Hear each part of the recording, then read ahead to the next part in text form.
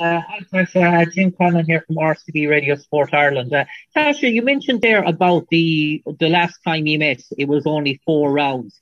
This time around, now we're in a professional sort of environment, we're a longer sort of fight does that really start to change the game plan in terms of strategy, in terms of those opening rounds to try and settle your way into the sort of fight? Because we know Katie Taylor is not the person you want to be hunting rounds back off or chasing down. So is it wise to take on a sort of a different strategic approach rather than the last time we met in terms of a, a longer sort of more cagier sort of a fight in terms of those opening rounds?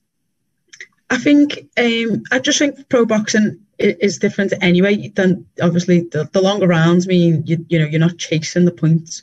So it, sometimes in amateur, if you're you know two points down, three four five points down after the second round, you chasing that for two rounds leaves you more vulnerable. If you're two rounds down in professional boxing, you've got another eight rounds to catch it up.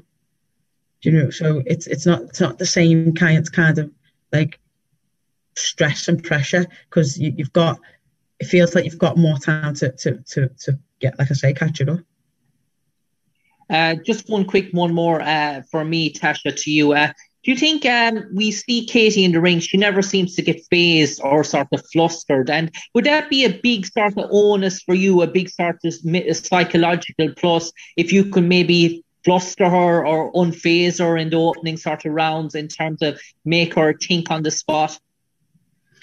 Um, obviously, yeah. Anytime you you can see physically see, um, you, you always look trying to pick up on on stuff on on your opponents. You know what what they're going to do next, or you know what shot hit, or what what what what what reactions they've got to what shots you're throwing. And I think to to be able to see physically see that you've hit it is obviously a, a, a gold mine for any boxer. But just because we, we don't I wouldn't say that we, she's never been hurt or, she she hides it well.